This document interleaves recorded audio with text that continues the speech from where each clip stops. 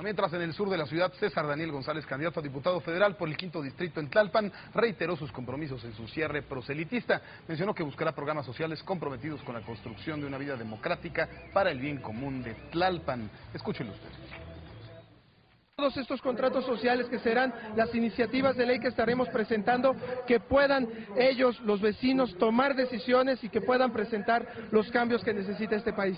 Vamos a ver cómo la ciudadanía de Tlalpan va a salir a reclamar un cambio. Mientras en el